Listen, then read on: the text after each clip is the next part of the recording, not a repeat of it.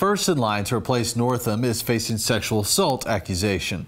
Uh, Lieutenant Governor Justin Fairfax is strongly denying an allegation. And yesterday, his accuser released a detailed statement. Dr. Vanessa Tyson, a political science professor, says Fairfax forced her to perform oral sex in a hotel room at the DNC, and that was back in 2004.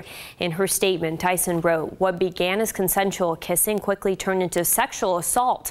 Fairfax insists the encounter was consensual. And now we've learned Virginia Congressman Bobby Scott knew about Tyson's accusation more than a year ago. Aides to Scott confirmed Tyson first reached out to him in an email back in 2017.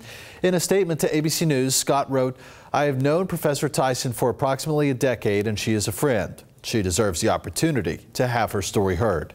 Aides for Scott say they don't know what the congressman did with the information from Tyson.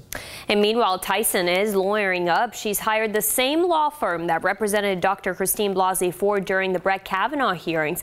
Fairfax hired the same firm as Kavanaugh.